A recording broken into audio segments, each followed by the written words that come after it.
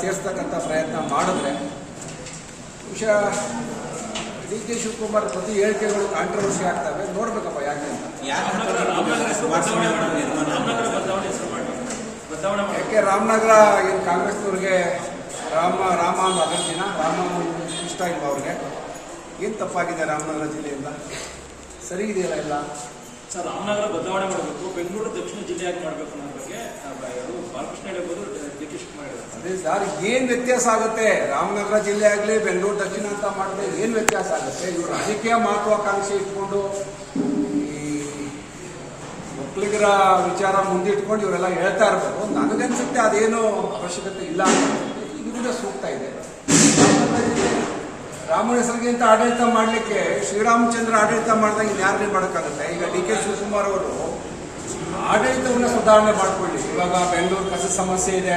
ಬೆಂಗಳೂರು ಕಸ ತಂದು ರಾಮನಗರ ಜಿಲ್ಲೆ ಹಾಕ್ಬೇಕು ಅಂತ ಇದ್ದಾರೆ. ಇವತ್ತು ರಾಮನಗರದಲ್ಲಿ ಇಡೀ ಜಿಲ್ಲೆದಲ್ಲಿ ಅದಕ್ಕೆ ವಿರೋಧವನ್ನು ವ್ಯಕ್ತಪಡಿಸ್ತಾ ಇದ್ದಾರೆ. ಆಡಳಿತ ಮಾಡೋ ದೃಷ್ಟಿಯಿಂದ ಇವತ್ತು ಇವತ್ತೇ ಶಿವಕುಮಾರ್ ಅವರು ಈಗಾಗಲೇ ಬೆಂಗಳೂರಿನ ಉಸ್ತುವಾರಿ ತಗೊಂಡಿದ್ದಾರೆ. ಸುಧಾರಣೆ ಮಾಡಲಿ. ಬೆಂಗಳೂರಿನಲ್ಲಿ ಇವರು ಉಸ್ತುವಾರಿ ತಗೊಂಡ ಉದ್ದೇಶ, ಬಹುಶಃ ಏನು ಬಹಳ ಬದಲಾವಣೆ ನಾವೇನು ಕಾಣಲಿಲ್ಲ. ಐದಾರು ತಿಂಗಳಿಂದ ಏನು ನಾನು ಬದಲಾವಣೆ ಮಾಡಿದ್ರು ಬೆಂಗಳೂರನ್ನ ಏನು ಬ್ರ್ಯಾಂಡ್ ಬೆಂಗಳೂರು ಅಂತ ಏನು ಅವರು ಈಗ ಎಲ್ಲ ಕಡೆ ಹೇಳ್ಕೊಂಡು ಬರ್ತಾ ಇದ್ದಾರಲ್ಲ, ಆ ರೀತಿ ಯಾವುದೇ ಬದಲಾವಣೆ ಆಡಳಿತದಲ್ಲಿ ಕಾಣಲಿಲ್ಲ. ಏನಪ್ಪ ಈ ಸರ್ಕಾರ ಯಾಕೆ ರೀತಿ ಕಾಂಟ್ರವರ್ಸಿಗಳು ಮಾಡ್ಕೋತಾ ಇದ್ದಾರೋ ನಮಗೇನು ಅರ್ಥ ಆಗ್ತಾ ಇಲ್ಲ. ಇದನ್ನ ಶಿವಕುಮಾರ್ ಕುಮಾರಸ್ವಾಮಿ ಅವರ ಪ್ರತಿಷ್ಠೆಗಿಂತ ಹೆಚ್ಚಾಗಿ ಜಿಲ್ಲೆಯ ಜನಗಳ ಆಡಳಿತ ದೃಷ್ಟಿಯಿಂದ ಅನುಕೂಲ ಆಗ್ತಕ್ಕಂಥದ್ದು ರಾಮನಗರ ಜಿಲ್ಲೆ. ಅಲ್ಲೇ ಇರಬೇಕು ಜಿಲ್ಲಾ ಕೇಂದ್ರ.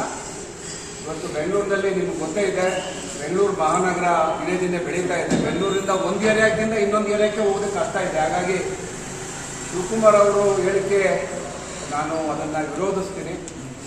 ಬಹುಶಃ ಅವರು ವೈಯಕ್ತಿಕವಾಗಿ ಬಹಳ ವಿಚಾರಗಳನ್ನು ಇವೆಲ್ಲ ಈಗಾಗಲೇ ತೋರಿಸ್ತಾ ಇದ್ದೀರಿ. ಒಂದು ಕಡೆ ರಿಯಲ್ ಎಸ್ಟೇಟ್ ವಿಚಾರ, ಅವರೇ ಹೇಳ್ತಾರೆ, ಭೂಮಿಗೆ ಬಂಗಾರದ ಬೆಲೆ ಬರುತ್ತೆ ಅಂತೇಳಿ. ಹಾಗಾಗಿ ಪಾಪ ಶಿವಕುಮಾರ್ ಆಡಳಿತವನ್ನ ಜನಸಾಮಾನ್ಯ ದೃಷ್ಟಿ ಇಟ್ಕೊಂಡು ಮಾಡೋದು ಒಳ್ಳೇದು. ಅವರು ಬರೀ ರಿಯಲ್ ಎಸ್ಟೇಟ್ನ್ನ ಮೈಂಡ್ ಅಲ್ಲಿ ಬಡ್ಕೊಂಡು ಮಾಡ್ತಾ ಇರೋದ್ರಿಂದ ಹಿಂಗೆಲ್ಲ ಅನ್ಸುತ್ತೆ ಅಂತ ಕಾಣ್ತದೆ ಅವ್ರಿಗೆ. ಅವ್ರಿಗೆ ಇನ್ನೂ ಭೂಮಿಯ ದಾಹ ಇನ್ನೂ ನಿಲ್ಲಿಲ್ಲ ಅಂತ ಕಾಣ್ತದೆ. ನೋಡೋಣ ಮುಂದೆ.